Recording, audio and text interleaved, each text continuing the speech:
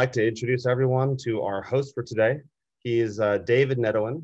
Uh, he is Chief Customer Officer and co-founder of Scope AR with over 20 years in digital transformation and advanced manufacturing and approximately 12 years with Scope AR as a co-founder. Uh, David, very excited to have you today. You're one of my favorite people at Scope AR. So David, take it away, my friend. Awesome. Thank you, Robert. Uh, yeah, this is very exciting. I'm uh, terrifically, you know, just honored to be uh, hosting this today. We've got a wonderful panel. It's going to be just some really great conversation. Um, you know, very much like a like a fireside chat. We're going to have some topics that we're going to put out there. Discussion from uh, from our panelists who all have kind of different backgrounds, but obviously all in the aerospace industry. And it's just going to, you know, going to be something where we can share ideas, get different views on it uh, you know, hopefully encourage some questions from the audience and uh, just, yeah, have a, have a really good uh, session here. So uh, first of all, some introductions. Um, uh, introduce Dan Anger first, systems engineer and augmented reality team lead at Lockheed Martin Space. So he's out of the Denver, Colorado area. Uh, I think Dan's been with Lockheed for about eight years, and just really, I, have you know had the pleasure of working with Dan. Um, I think Lockheed was one of our very first customers starting back in 2015. So I've had a pleasure to work with Dan now for quite a few years. And he's just been critical in terms of like really starting with the initiatives of augmented reality and in, in like proof of concepts and moving into like manufacturing aids and default production. So he's really been there for the full journey. So um, awesome to have you here, Dan. And maybe just a real quick question. I'll do one question for like everybody off the start, and then we'll get into a bit more conversation. Like really quickly in a minute or two, like why AR? Where did it start for you? Yeah, I guess to to kind of touch on that, for me personally, um, you know, the big thing with augmented reality is it really helps solve, you know, real world problems associated with difficult tasks that we deal with. You know, manufacturing very complex spacecraft, there's a lot of struggles and things that go into that, right? So, um, you know, with my background in assembly, manufacturing, integration, I know exactly how difficult that can be on the floor. Um, and you know, at Lockheed Martin Space specifically, um, a good portion of our products and vehicles are designed to carry out their mission in really complex environments, um, things that don't even stay on this planet for the most part. Um, for example, building the only deep space exploration class spacecraft, Orion, as you guys have well seen, um, so these things are very difficult and they're complex to put together. And so using that and, and leveraging augmented reality to make that process better and to make our technicians and our engineers more knowledgeable and to understand in a deeper way what they're working on, that's really my big why with augmented reality and, and why we do it. And I personally love just seeing, you know, the, the faces light up when they see that next level of technology really come through you know, and they get to understand things in a whole new layer they haven't seen before. So really, that's that's my big why on uh, augmented reality and why I have such a passion for it. Awesome. Yeah, thank you. Uh, next, Karl Hutter, President and CEO of ClickBond. I could probably take like the whole 30 minutes and just talk about Karl, but I'll try and keep it, uh, you know, fairly short here. So it's been with ClickBond for over 20 years uh, you know, taking on a number of roles, like right from the beginning, sales and leading business development and growing markets in Asia Pacific, and now the CEO and president. Um, Karl's been like uh, integral in terms of like growing the the uh, or growing ClickBond as a global leader in the supply of bonded fasteners to all sorts of industries. Obviously, aerospace being primary, but also automotive and marine and industrial, and uh, aerospace aviation very near and dear to his heart. He's also an accomplished pilot and sits on the board of many aviation uh, organizations. Um, Karl, same question to you. Uh, why AR? Where did it start for you? Yeah, so no, thanks so much, David. Um, so look, I've always been a, an, an aerospace guy first. Grew up uh, in in our family business that way, um, but I was an electronic systems guy second, and have found myself uh, I don't want to say trapped, but trapped in a nuts and bolts world for the last 23 years. Uh, but the truth of the matter is that we um, really are looking at transforming ClickBond from a uh, fastening systems company to an assembly technology company. And the benefit of our 35 year journey has has been to teach us about a couple really really important fundamentals in aerospace that I think are super exciting. One, that the scale of aerospace is going to demand incredible talent, human beings doing complex things very very well for a very long time to come. Even as we start bringing in automated tools, and technology to work alongside of us, the scale and the complexity of aerospace will always really require fantastic talent. So as we move into a new generation of learners, who absorb information differently, who learn differently, uh, who are being asked to do much more complex things. What can we do to bring incredible technology to, as uh, my friend Nick Pinchuk at Snap-on calls them, uh, the makers and the fixers of the world. So whether you're building uh, spacecraft and aircraft, or whether you're repairing them, um, you know, on the forward operating base or in the uh, airline hangar, what can we do to enable um, incredible people to do even more by bringing the tools to uh, to them to teach them and to uh, enable them while they carry out that work. And I think AR is the key to that. And so excited to be making that part of part of our mission as well. Yeah, awesome. Thanks, Karl. Um, and uh, Michael Hinckley. So Michael Hinckley, Senior Manager of Programs in Palmdale. He's been with uh, Northrop Grumman for over 15 years and, and ultimately responsible for all programs in Palmdale. You can imagine there's quite a few of those like F-35, HALE B2, and I'm sure there's probably a lot more that I don't know about and Michael's probably not going to share with us. Um, but yeah, uh, really, really key in the acceleration and, and the, the use of technology to help with efficiency and what they're doing in the manufacturing and design side. So um, Michael, as quickly, same question to you, why AR, where did that start for you? Yeah, so I, appreciate uh, the introduction. Um, really carrying on the torch for the team starting back uh, 2017, 2018. It really started as a pilot. Um, but I mean, the crux of augmented reality for our company is obviously, you know, first time quality, cost, and schedule are paramount on very complex systems. You guys had it in your opener, right? It's instant expert, right? Whether you're a technician out on the floor, you're a quality inspector, uh, is data at the ready. Uh, and I think something that our customer is starting to demand is speed. Uh, we're not manufacturing at the speeds that we need to on these complex systems, and augmented reality brings you the benefits um, in real time uh, and, and, includes data integrity, right? As we take some of that information, uh, display it down for the people that are using it, and then take that information and ultimately put it back into our manufacturing systems, which I think is incredibly important through um, the technology development phases of programs all the way out through sustainment.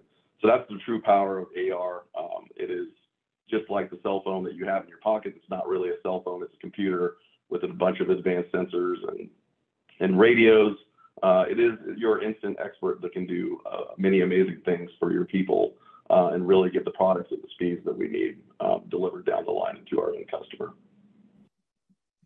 Yeah, fantastic. And, and, yeah, completely agree. I mean, it's it's incredible how much has changed over the last number of years that right now in the palm of our hands or going forward, the the hardware devices we use really are going to be the ones that help us become instant experts. So I'm going to, you know, this is meant to be something that we're going to want to share your experiences as leaders and innovators in in uh, leveraging technology, and of course, not just AR and XR, but all the different technologies that you implement to help improve the efficiencies.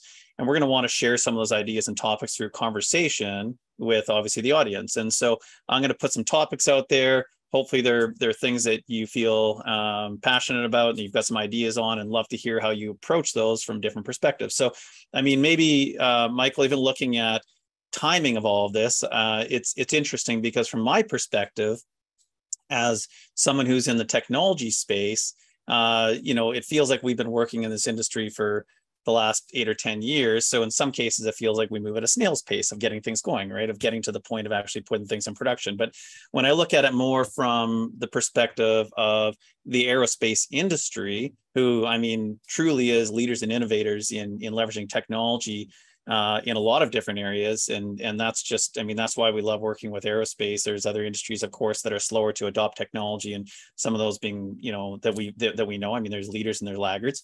Um, it, it feels like it's probably, you know, at light speed.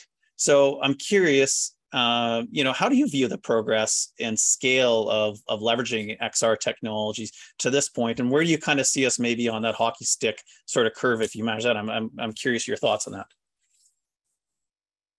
Yeah, it's a good question. I think adoption at all levels, from your CEO down through your uh, your worker out on the factory floor, is paramount. Security is paramount for our, our companies and the work that we do. Uh, and so the integration of these products and technologies, both on the hardware and software side, uh, is um, is difficult. And so it does feel like snail's pace uh, sometimes, but there's a lot of big wins there. Uh, where we can uh, get these technologies out uh, on the manufacturing spaces in the hands of the people that need them. And we've done a really good job at doing that. And that's really through a large team of stakeholders, whether it's systems engineers, your cyber, your IT um, um, folks, the people actually using the technologies, the training, um, and you know all the complementary complementary systems that go into deployment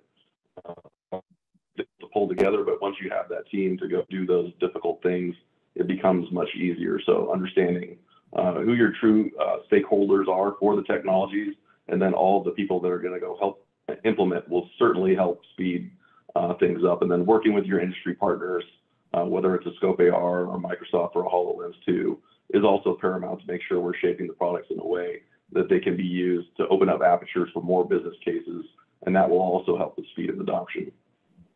Yeah, for sure. I know you focus specifically on that team aspect. I mean, every time we talk, it's about you know putting that right team together that has like the same vision and being able to leverage those those visions to accelerate something. Karl, I mean, you see it from different perspectives, right? You see a bunch of different types of of organizations that probably have been on different stages of that journey. Like, where where do you see it? I mean, like, love to hear your thoughts on this.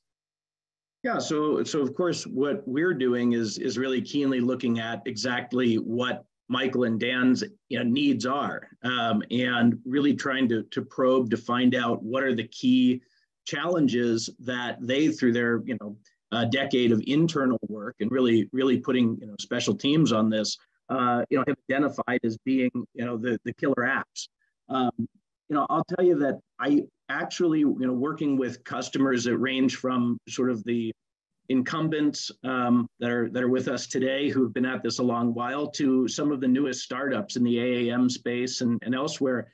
One of the things around this technology and this subject that excites me the most is that I don't really see a difference in the enthusiasm to move like briskly uh, to make this stuff happen. And I think that you know we are in an industry uh, that may you know it's complimentary to hear you say, David, that we we feel like we're moving fast uh, you know, as, as a consumer of your technology, this is good because aerospace defense tends to be slow to change. Um, it appears bleeding edge, but it's of course actually a very conservative industry usually. Uh, but I'm really excited by seeing this universal enthusiasm to go. And what that means to me is that the value is really there. And I think that as we all face the workforce challenges um, that are upon us as we see the recovery post COVID, as we see the emergence of whole new mobility technologies and, and, and, ecosystems like AAM.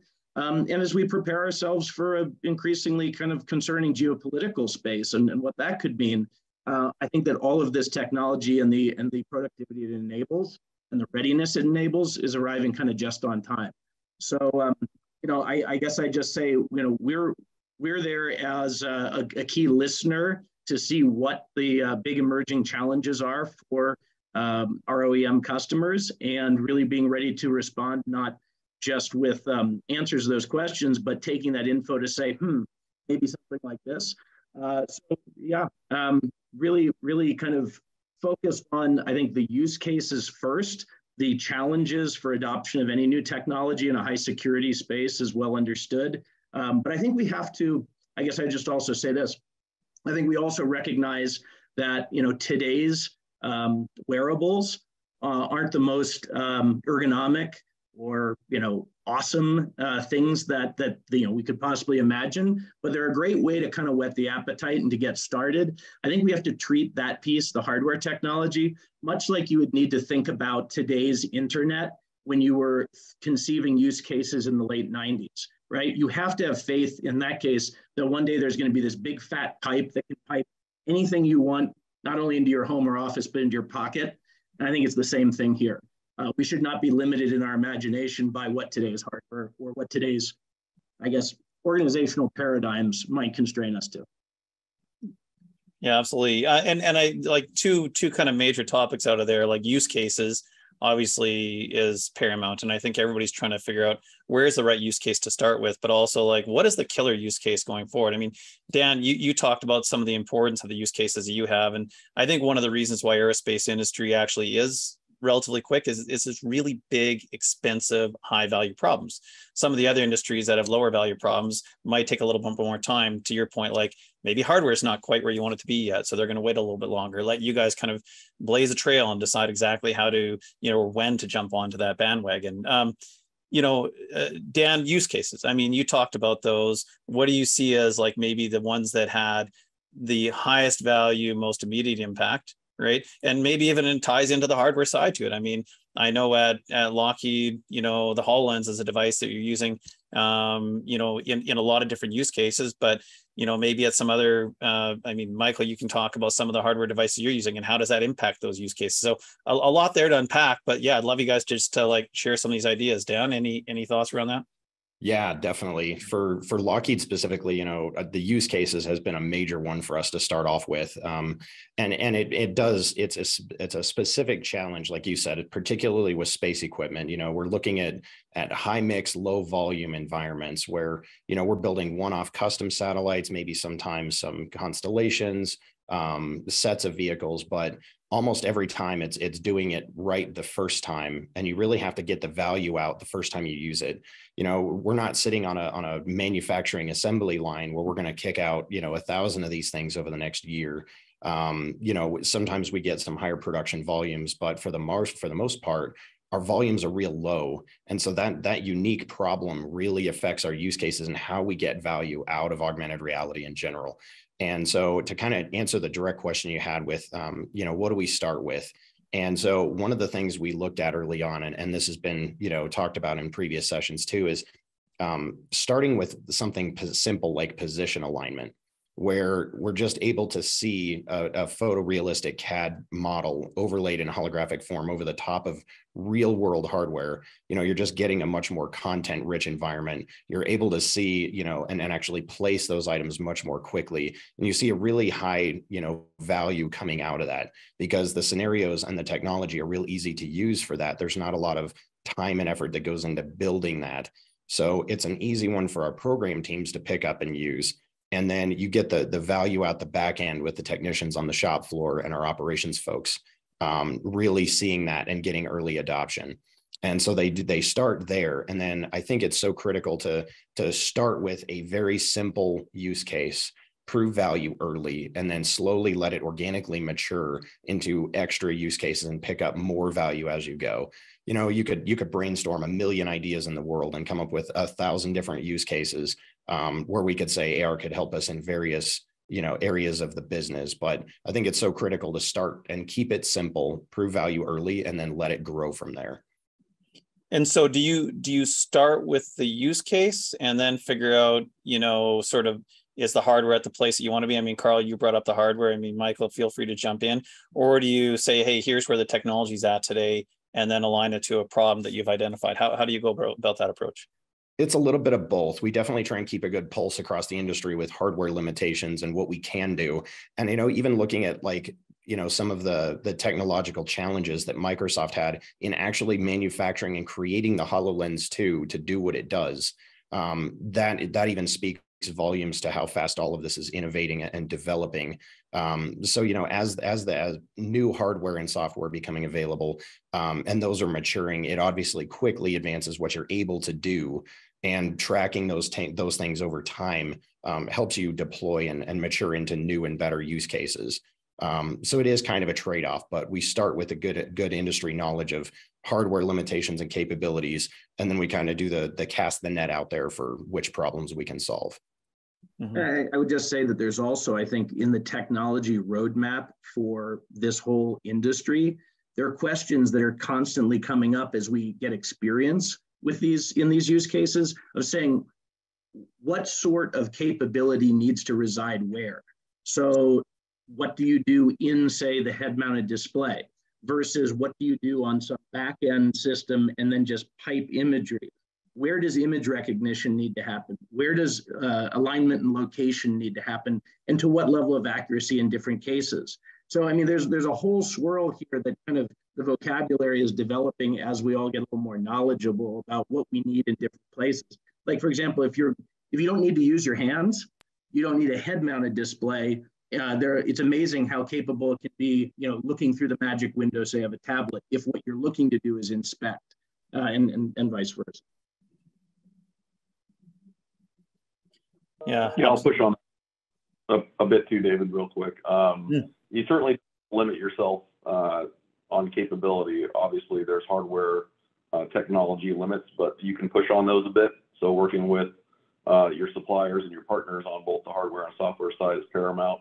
Uh, Karl said a lot of interesting things. I, from an adoption standpoint, don't play a video to uh, kind of wow the crowd with augmented reality.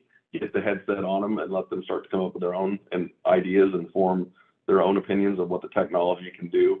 Look at where we were with computers um, decades ago. It was AOL and Oregon Trail, uh, and now we have some of the most advanced computer systems in the world, right? Where eventually uh, augmented reality will take us to a place like Karl had mentioned, some of the edge computing, where you do things and with your sensors and cameras to a place where the end user devices will be the inspector.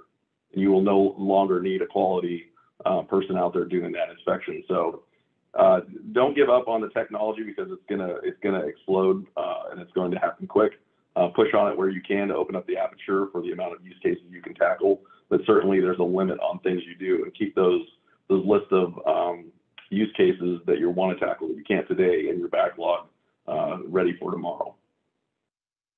Yeah, that that that's a really good point, Michael. Like, in my view, I think that there was a lot of hype around hardware devices five, six, eight years ago that didn't necessarily come to like meet the expectations that was set by it, right? And so then hardware devices, like obviously some didn't quite make it. A lot disappeared. HoloLens kind of emerged as sort of a leader. We're seeing some other ones that that now are coming out, uh, Magic Leap 2 and Lenovo and several others that we're seeing.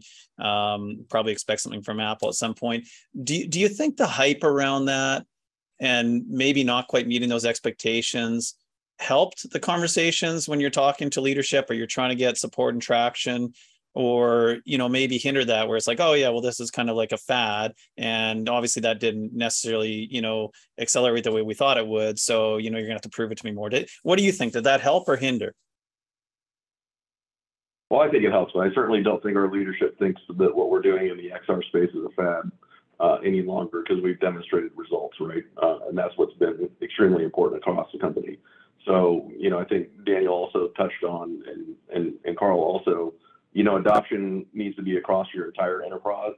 So when you can help people be fast followers on technology, uh, adoption scales, and I think industry leaders on the hardware and software side will note that we're buying more devices, we're buying more licenses, uh, and they're going to put a little bit more investment into getting to the state that we really need to. I think people know that I've I've commented on the hardware side. You know, we're kind of like at the T-Mobile sidekick uh, phase. I think on the hardware uh, we're not at the Apple iPhone uh, Pro Max, you know, 13 uh, technology um, that we should be as far as end user devices are concerned, especially in the augmented reality space. But we're getting there, and if we can keep working with our industry partners, we're going to get there much faster. Yeah. So proving value to get the support you need through showing ROI is like, let's get to this point, prove some value, demonstrate that, and then get the support you need to expand beyond that. Is that that's basically the approach that you've had? Yes. Yeah, fair enough. Um, Carl, like from your perspective, I mean, uh, this kind of gets into the next like thoughts of like you were talking about change management, right, and getting people to understand exactly where this is going to have an impact on the organization.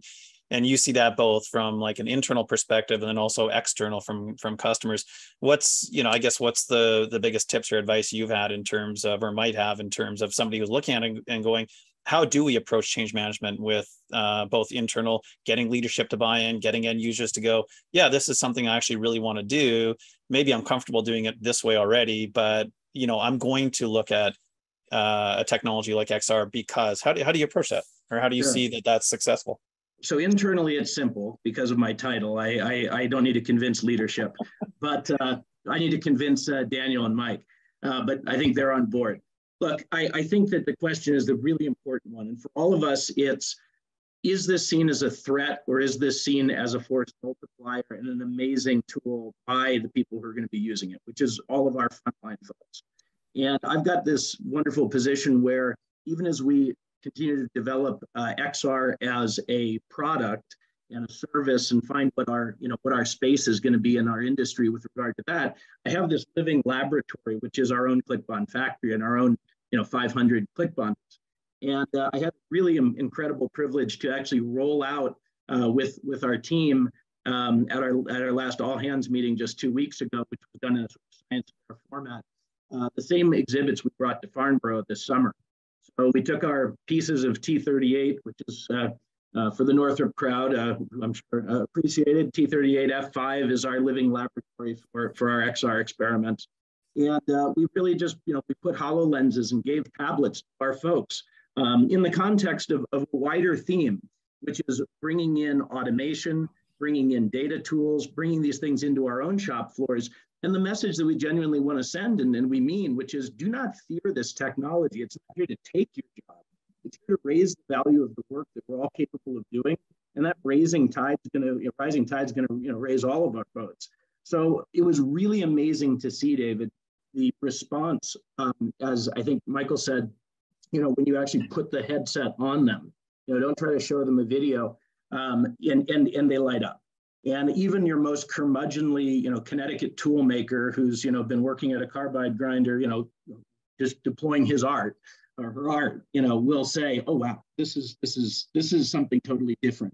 So what I, what I just throw in here into the conversation is really, you know, we can talk about back-end technology, we can talk about endpoint technology, um, you know, but you're right, the change management piece is, uh, is really the key. How do you get the people who are going to use this and benefit from this to do more productive work and to have more capability on our shop floors and our field support? How do we get them part of the creative process by going, oh, wow, hold on, that's cool, but could it also do X? Because the tip of the spear, you know, is really where uh, the ideas I think best come from here. So get that get that team out there at the at the you know local level engaged. Not only does that help with the change management problem, but it actually gets you the best solutions. Mm-hmm. Yeah, getting it out to the workers and seeing what types of uh, problems that they can solve within what they can imagine. And and it's it's it's super interesting. I mean you sit in a room or you put it in front like the hololens on eight different workers and you're going to have 16 different ideas of what you can do right? And then it's just a matter of trying to figure out which ones make the most sense based on value and use case and everything else. So i mean dan your your organization's interesting just because obviously in space you've got some specific problems that you're solving which is very different than rms and very different than aero like from that side of it what does that look like in terms of socializing getting people to understand and find those use cases both internally and is that being shared externally? Or is it like kind of that one cohesive approach now that that people are starting to look at from even outside of space and saying like how do we do this? Like what are the use cases? How do we uh, get end users and leadership to buy into that yeah, for sure. There's definitely a lot of a lot of things that go into you know user buy-in and and how you drive that adoption and, and how you target it. Like you said, we are in space and we deal with different problems than than even our other internal business areas might um, it, it's a difficult thing for sure to, to get your arms around. But I think one thing is strategy is key. So we really do look at, you know, what are we going to do and how we have targeted use cases and really getting the folks to understand and to see the value. That's kind of what I was poking at earlier when it comes down to an early adopter with use cases is you know as karl was saying you know you could you could have someone that's very much you know depth in their art and they just focus on doing their one thing well. You put this headset on, and I would say 99% of people out there, almost every single person I put the headset on, they they look at it and go, "Oh wow, this is crazy." Um, you know, I've I've heard comments like, "This is why I I work at Lockheed Martin. I feel like I'm working in the future." You know, so it, it's generally pretty easy to get users to see the value and to get that you know socialized through the various organizations but obviously there's you know with a big organization like lockheed martin it's a big company there's a lot of people and you know not everyone always has the same outlook and perspective and so i would also say from a user buy-in perspective um, you know you'll occasionally run across the ever so rare person that you know is is very resistant to technology in general. You know it might be the guy driving a, a 1970 car that refused to you know a fuel injection or whatever it might be.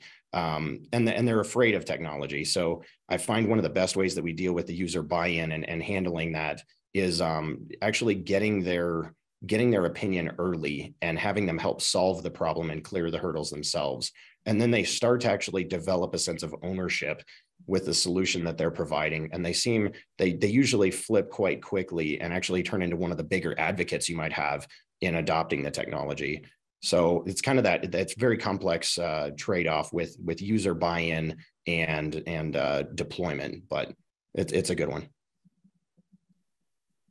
Yeah that, that love that. Uh, you know get them involved early make them an adv- advocate, have them show, oh, well, if this person can do this and show value to it, we certainly can as well, and and uh, have them, uh, you know, have some ownership to it. I think that's great. Um, yeah, fantastic. And and you also touched on a little bit of like an interesting topic, um, the skills gap too, right? Uh, wanting everybody wants to attract the best employees and I think right now everybody's going through, you know, all organizations, whether it's, you know, a small company like Scope AR or some of the largest companies like we have here, I think everyone's going through that same challenge of uh, retaining and attracting great employees. I mean, it's just just reality of I don't think anyone's um, anyone's not encountering that. So skills gap is something that I think as we go forward is going to be more important to more and more important to address in terms of like the good employees, the good workers are going to want to have technology they're going to engage with. They're going to want to know that our organizations are leveraging technology that's going to help them do their job more efficiently, um, make less mistakes. And so attracting those employees will be great for companies that have, have uh, engaged in that early, right? Um, I don't know if that's something that that anybody on the panel is seeing or uh, you know has yeah, has I, had that. David, I, would even go I'd even go one step for one step further with your with your good comment there um, not just you know feeling like they're enabled and backstopped by technology to make fewer mistakes, but how about this one? Making better decisions. Meaning what? Okay, so this is something we're really trying to do in our deployment of tools and technology at Click Bond. I really want, you know, I don't think that that thinking should be the purview of, of someone at a certain altitude in the organization. I want everybody to be able to apply their mind to what they're doing. And the only way you can really do that is by structuring work in a way that gives everybody the data they need, the information they need in a job description that lets them actually be more autonomous. Not when I come up against something that looks like a turn back, I wait until someone comes to review this. But how can I keep moving and know at the backside of that decision that you know I kept moving based on a choice I made and felt confident and, and authorized to make. I think that this is really one of the great uh, possibilities of XR in manufacturing. And it's, I, I, just like to kind of say, we talk a lot of times about work instructions or training uh, or these things, but I really just try to generalize it and say making the unseen seen. So as we can start bringing in other sources of data off of PLM systems, other systems of record, off of tools that you may hold in your hand or sensors that you know may be uh, you know relevant to the work. How can we pull data together in a very broad sense, present it to the technician, and enable them at their point of use to make better decisions and be more engaged in their work? When we start looking at that, right, I think it has this very profound impact on the satisfaction of the job that people are able to do. Yeah, you've you've actually so you've just started to uncover a really interesting topic here, right? So I'm going to throw a word out there, to I guess it's two words, a term, and I'd love to get anybody's thoughts on this, like digital thread, right? I mean, it's a, it's a term that's been used for a while. I think in some cases it it's exciting, but I think in some cases it's also scary a little bit because not like everybody can interpret it slightly differently. Like it's it's taking you know terms like industry 4.0 and digital transformation and factory of the future and looking at to your point the data that's available from iot and real-time connected workers and connected tools and cloud computing and artificial intelligence and and making all of this available to a worker so that they can actually then you know have the have the right information to perform the task and then ar shows somebody how to do that task. So it's not something that you should be afraid of. No one owns this term. It's a strategy. It's about looking at the technology architecture and saying what does this mean to our organization? How does this information all connect together? And what does it look like for the worker going forward? So digital thread you know just thoughts, uh, conversation, any any ideas around that and what it means to you and what it's what are we going to be talking about two years from now when we have the same panel together type thing? I, I have a couple comments there, David. So one back to what Karl said, you know, making the unseen seen. The information should be available to the CEO and everyone uh, down and up the chain, right? Uh, whether you're working in facilities and you're using augmented reality to look through a wall at your structure, or you're you need information to quickly make decisions on how to get to your first meeting in the day. I mean, how many people have walked around large companies like ours just trying to find the badging office at a new facility, just trying to get to a conference room? Uh, very frustrating, right? The work we do is difficult. and then you you throw things like that uh, on top of your everyday stress, and it makes it uh, even more difficult. So uh, information is powerful, and if we can visualize that information uh, coming from you know sources, multiple sources within uh, your companies, uh, that that's powerful. On the digital thread side, I would say that we we really focus this conversation around end user devices and what, what I would call kind of like down the line, right? The software and hardware that's ultimately going to be deployed. But what about all of the information that pours into those systems to make informed decisions, and then that information being taken back up to maintain that digital thread? I think in in cases like uh, Daniel's situation, where it's not Arrow, right? Um, you really have to evaluate whether these technologies really provide the business value that you're looking for and if you can actually create content from your PLMs and MES systems um, to those devices, then you solve some of that equation. So I, I think that the biggest muscle movement comes from data up front and what you do with that data, how you ingest it and parse it out and decom- decompose it uh, down, and then how you take that back information back up to complete that digital thread. Yeah, and I would just say to add to that too, like just like Micah was saying, you know, it, it is a, a challenge to get through and pull that digital thread. And like he was saying, with spacecraft equipment, um, you know, you do have to leverage a very good upfront design. You are going to only build this thing once or twice, for example. Um, and so it also underpins this overall thought of design for manufacturing. So, and and it's very interesting to see how augmented reality overlays on top of that topic because previously and you know years ago engineering and design was thought to be a very siloed thing where you basically design something you may never see it again you're not talking to manufacturing folks. And that's in reality that's not the world we're living in anymore. You know we're, we're actually able to, to design for manufacturing get the end user's opinion get the smart technicians involved in the upfront design process so it works better down the line. And you know injecting augmented reality into that scenario really takes it to a whole new level where you're visualizing the design data like michael said from the pdm systems from our cad repositories and you're visualizing that directly on the as built hardware. So you're doing a direct as design as built comparison anytime you put on a headset with a cad model in it so it really changes that whole paradigm of how technicians and engineers can view our information on the floor.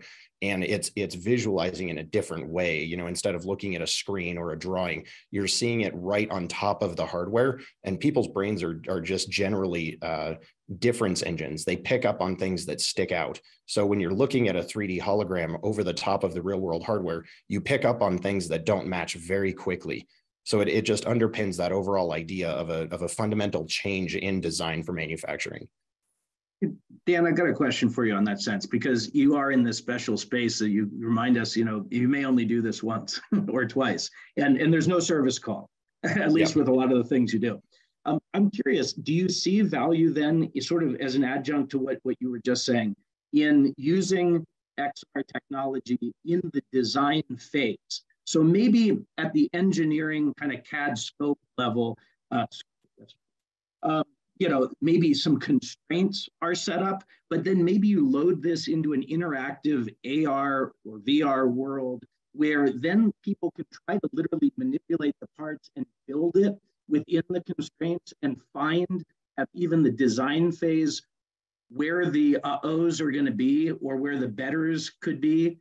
I mean, is that something that you've looked at? Because I think there's a lot of power given that you know you may be doing this once or twice. Yeah, we definitely do do that for sure. And there's different technology stacks you can use for that as well. Um, you know, I've seen some like human factors assessment, you know, heritage systems, maybe, you know, something analogous to a gaming engine where you have, you know, a, a an avatar of a person that's you know some 50th percentile person that can walk around the digital version um, you can also do similar things like that with VR as well. I mean, if you're not in in a real world environment, you can turn off the camera and have a completely simulated environment. Do human factors and manufacturability assessments in virtual reality as well. But it's interesting that you can do that same thing also with augmented reality. And really, it also comes down to the benefit that you get with augmented reality in that in that you know design assessment phase is you can you can do things like factory simulation and overlay real world scenarios in holographic form into a real world high bay um, or or a real world structure. You can overlay those things on top of it. So it's that interaction between physical and digital that really makes ar be- more beneficial for the design phase like that Um, but for simple things like, hey, can I stick a wrench here to turn this bolt? Can a technician reach their arm in and access this panel when they're assembling something? Those things are definitely considerations, and we see value out of that um, with AR VR technologies. But it's definitely interesting to look at the, the the minute differences between AR and VR and how those can benefit that. Yeah, great, great stuff. Hey, one, so I guess as we kind of wrap up here, I want to ask each of you one question. Uh, it's just, you know, if you were starting now, uh, what would you recommend to somebody who's about to engage on this journey, about to start this journey? What would be the one recommendation uh, that you would have for them? Uh, Dan, why don't we start with you? Sure. Yeah, I would definitely say um, it's it's a quickly changing space, and it's hard to get involved and jump in. But I think the most critical thing I could say to someone getting started that hasn't, you know, done full campaigns with this type of technology before is adopt early and just keep it simple to begin with. I've seen so many people that really honestly get excited about this technology. Most people, most engineers and organizations like ours will get very excited about the technology and they love putting on their science hat and and, and really, you know, brainstorming ideas. And that can sometimes get you a runaway a little bit. So the biggest thing is really keep it super simple. Look at a problem, target it, get it solved, and then let it organically grow. I think that would be the one piece of advice I would probably give to someone. Yeah, it doesn't need to solve every problem you have. It needs to solve one problem. Right? To start off with, yeah, yeah, exactly. Absolutely. Yeah, awesome. Thanks. Uh, Michael, how about yourself? What would be one piece of advice you would give someone who's starting on this journey? Uh, building blocks, you know, a lot of what, what Dan said, um, having those in place, people will get really excited about the technology and want to run real fast. Um, and then the technologies that you advertise, if they don't behave and function in the way that you you advertise those, um, that that goes downhill real quick. Um, so making sure that you validated uh, the work that you've done and it and it and it behaves as prescribed um, will will get you a long way. And then making sure you get those on both your internal and external customers, uh, show them the value of those products will uh, certainly help uh, your case and help those that are that are fast following the technologies. Yeah, for sure. When you say building blocks, what can you can you talk a little? What do you mean by building blocks exactly? So the systems approach, like Daniel said, you know, there's a lot of people who want to grab a HoloLens and and run off, but we all know that's not how it works, right? So understanding, um, doing your trades on the technology, both on the hardware side um, doing your business case analysis is extremely important. Keep it simple, uh, like you said. Uh, get started, and you can uh, evolve the, the technology as it goes. And I would say the building blocks are helpful for those that are fast following. If you have those in place, make sure you share those with your teams so they can get spun up real quick and, and kind of move in a, in a, in a, in a very uh, fast pace. Yeah, so a repeatable playbook that you can say follow these steps, and this is how we get you to a point of value. So Cool. I, I um, just, Karl. I, yeah, yeah I, would, I would, I would kind of combine both of those two comments as, as a guy who is just getting started in this, but in doing this uh, in a world where people are at different phases of their journey, the folks we're trying to help. And so I'm looking very carefully and asking, where do I find you, Lockheed Martin? Where do I find you, Northrop Grumman? What, what are already givens and what is white space? Okay, and recognizing that that, that will shift over time. But understanding what anything we bring to the party needs to talk to and talk to in a certain way and interface with um, as kind of the lay of the land. And so this kind of ties to that, that building blocks or modularity that Michael uh, mentioned. I kind of would cast this a different way um, based on the same fundamental. Um, there are so many things that we will be able to do with this technology. Um, we've touched on a lot of them here today two-directional information, systems of record, IoT-enabled tools and sensors, and then of course, you know, just the, the basic AR present data to the human case. Um, none of them, if we try to set up a scenario where we have to have all of it and all of the answers figured out before we can have any of it, then none of this happens. And it certainly doesn't happen as fast as it could. And we leave a lot of value on the table for a long time. Breaking all of this down into what the digestible chunks are, whether it's because of what's possible security wise right now, ergonomically right now, use case right now, and, and, and try to understand how that tool set, that set of building blocks or Legos can be put together in different ways by different users over different over time. and make it modular and think ahead towards a, an architecture and a structure. And as, of course, as all of us together develop some standards around what we mean when we say this and how that and that talk to each other. And, uh, and again, don't try to, don't set up some precious thing that requires everything to happen at once.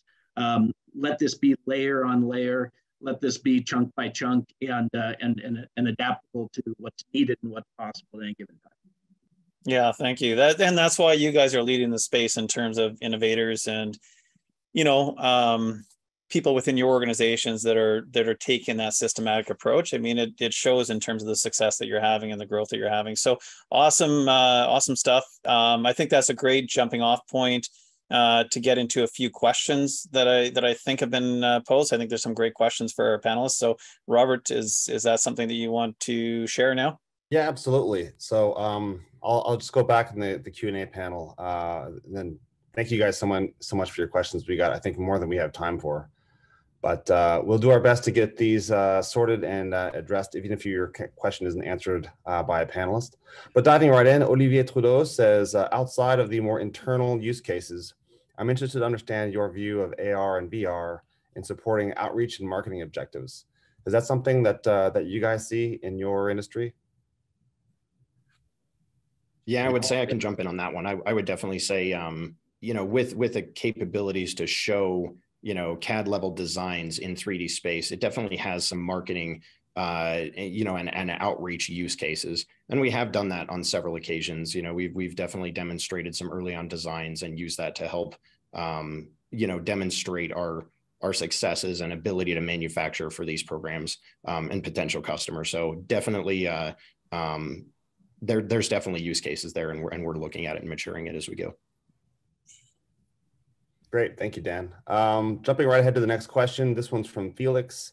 Um, I'll sort of zip to the real punch of the question. And he says, how do I convince management on the ROI, presumably of, of AR? Um, this is something I think everyone here has, has faced at one point. Uh, anyone want to share how, how they approached it? Well, since it was mentioned in small and medium-sized companies, maybe I'll, I'll take a stab.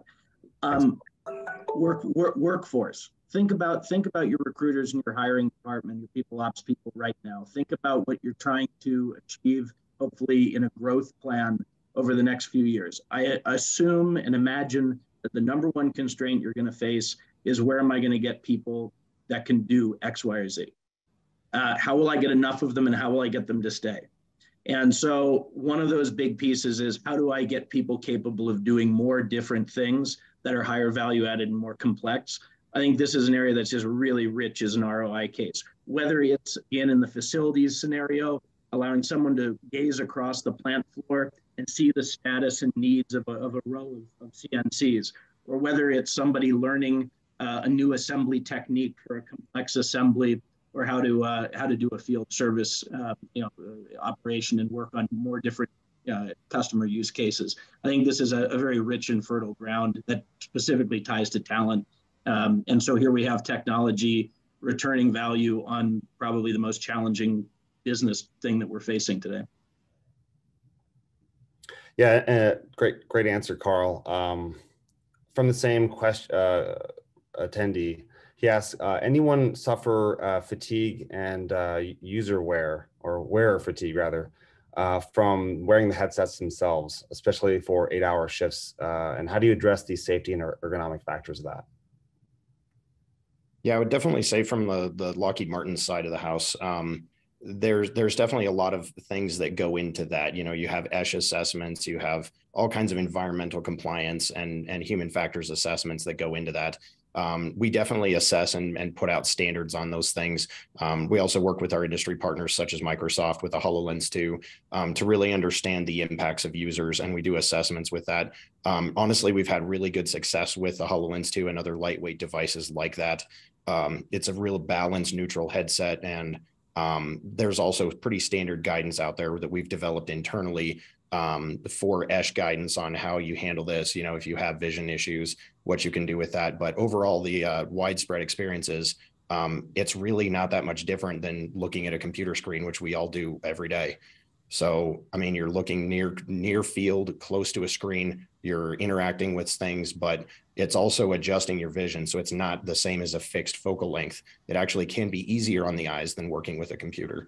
So there's definitely um, some trade-offs and factors to it, that's something we track for sure. Yeah, thank you, Dan. Um, another great question here. Uh, I think he, Mr. Aaron Voigt is kicking off a subject for a whole nother webinar. Uh, he says, being with the defense and aerospace industries, uh, there's a large emphasis on data security and compliance. How have the panelists navigated the realm of ITAR export compliance, CUI, EAR 99 reg, and regulation uh, in relation to their use of WorkLink products and outputs? I mean, that's it's a whole nother webinar, but anyone want to touch on that briefly?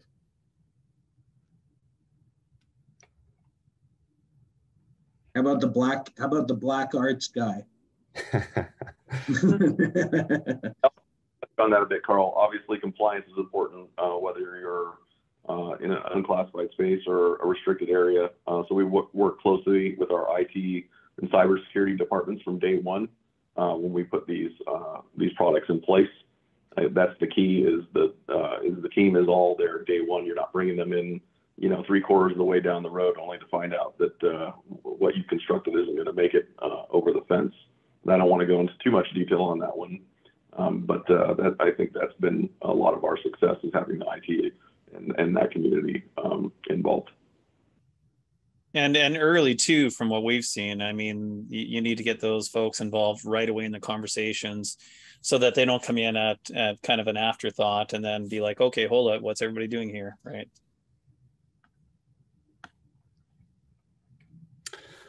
Uh, and I'll do one last question here. This is from an anonymous person. Uh, how would you estimate your ROI as you suggest starting with a really simple use case? It's a great way to, to wrap it up. Really simple use case ROI. Yeah, I would say um, for the ROI one, we've we've dived, we've uh, you know dived into that quite a bit. Um, there's definitely uh, different perspectives. You can do a real light side, and if that works out well, it's enough to get started. Um, you can also launch an entire ROI campaign and take this, no kidding, very seriously. Um, and that can also cost you. So in terms of measuring ROI, you have to be careful that you don't get rid of all of your savings by trying to measure your savings. So there is a uh, there is a, a trade off to how hard you hit it. But I would also say leverage industry partners and and other enterprise uh, you know studies that have been done and start with that and use it more of a confirmation instead of trying to investigate it for the first time because there are a lot of companies that have looked at this before and they're seeing similar use cases with similar value so get yourself knowledgeable and then check yeah, like like Dan, there's a lot of studies that have been published that are open open source Forrester studies. Uh, so don't try to reinvent the wheel. Go do some research on your own. Uh, and uh, well said on you know don't don't do time studies uh, to death uh, where your ROI just goes in the trash can. I think finding your your largest challenges and tackling those first uh, will certainly easily yield the results results you're looking for from an ROI perspective. Great. Any final uh, thoughts, comments from anyone? All right. So, uh, guys, thank you so very much for uh, attending today. I can't tell you how much we at Scope AR appreciate that. We had a couple questions got asked about uh, the recording of this webinar. We're going to do our best to distribute that. Obviously, given the sensitivity of, uh, of our uh, focus industry here, we want to make sure that we have everything signed off and okay. Uh, for more information, you can always visit scopear.com or reach out to sales at scopear.com. Uh, and I've got a QR code if everyone wants to pull out their cell phones here. If you're not already a WorkLink user, you can download the app for free today and try out any one of the demo projects right on your desktop um, or countertop or, or whatever your flat surface may be. So definitely give that a try. AR is at your fingertips. And uh, once again, want to thank everyone for attending today. Fantastic discussion. Um, we got thumbs up from the entire Scope AR uh, employee base, which is just very, very happy to have everyone uh, on the call today. And I, I, once again, thank you guys so much. Um, appreciate it. Thank you guys. Yeah, really appreciate it. We'll thank see everyone next time. And thanks so much.